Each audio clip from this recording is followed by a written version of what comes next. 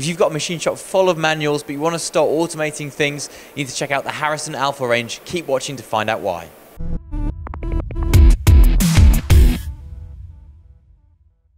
So Keith, can you explain how this machine works? Because I've not seen one of these before, and, and why you'd want one of these over a CNC or a manual. Great. Well, this is your first step into CNC, as you've mentioned. So, based on a manual machine, this particular size is based on a Colchester Triumph. Yeah, if you look at the casting, it looks exactly, exactly like the same bed and headstock. All we do is we take the lead screws out, put ball screws in, put a, a Fanuc Which CNC, you see here. yeah, Fanuc CNC control on there, Fanuc drives, Fanuc motors, uh, and you've got yourself uh, a, manual strokes uh, CNC machine. It's a funny looking thing to see that the, the really uh, ubiquitous design of the Colchester sliding bed lathe, which is just such a classic, and then seeing a Fanuc control stuck on the end of it. Yeah, definitely. You can use it manually. You can leave the doors open on the Fanuc version, and you can wind the handles, the, uh, the multi-pulse generators, uh, and you can use it as a manual machine, just using this as an expensive DRO, if you like. So you can get your operators one in the handles who are used to the manual machines. Yep. Within half a day, we, th- we say we can uh, we can get somebody making parts. Okay, so that makes that makes a lot of sense. I guess it's it's easy to use, but why would you go for over a, a, a standard CNC machine? Well, I think it's the the, uh, uh, the, the combination of being able to use it manually,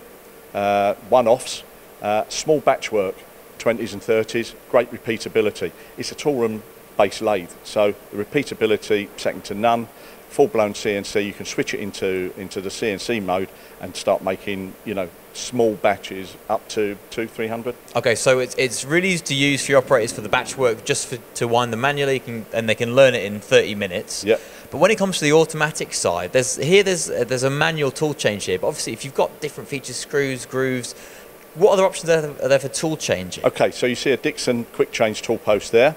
You can have the other various uh, variants of, uh, of, of quick change manual tool post. We also do it with uh, an eight station auto um, disc changer, uh, VDI 40. Um, we do do a driven tool version as well, both in this size and two sizes further up the range. Okay, so if you've got an Op 10 with quite a lot of different features, you can do all those in one hit once you've walked away from the machine. Yeah, if you've got the auto changer, you can link a few ops together and produce a part. What the difference? What about the difference in accuracy between this and a CNC machine? It's exactly the same. It's a full-blown CNC control at the end of the day. Okay, so your encoders are all the same. Yep. It's almost like you've kind of retrofitted a CNC to this beautiful, uh, robust Colchester design. Yeah. Been around since the mid 90s. It's been tweaked a little bit along the way, but yeah, it's it's it's a, a great machine. Okay, really so good first start machine into CNC. Okay, so how easy is it to program for your operators? Let's say you've got guys, people who can run manuals absolutely fine, they know their engineering inside out, but they don't necessarily know how to program the FANUC. Well, with a little CNC knowledge, um, half a day and you'll be up and running, no problem at all. We can provide training courses up at Elland here um, for people with no experience.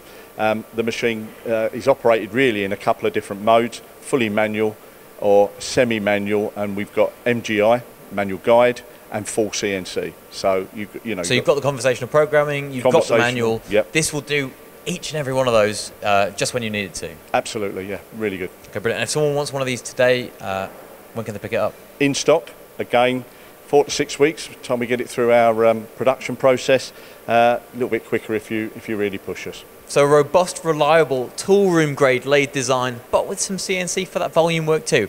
Get in touch with Keith, get in touch with Colchester, come up to their tech centre in Elland to get a demo today.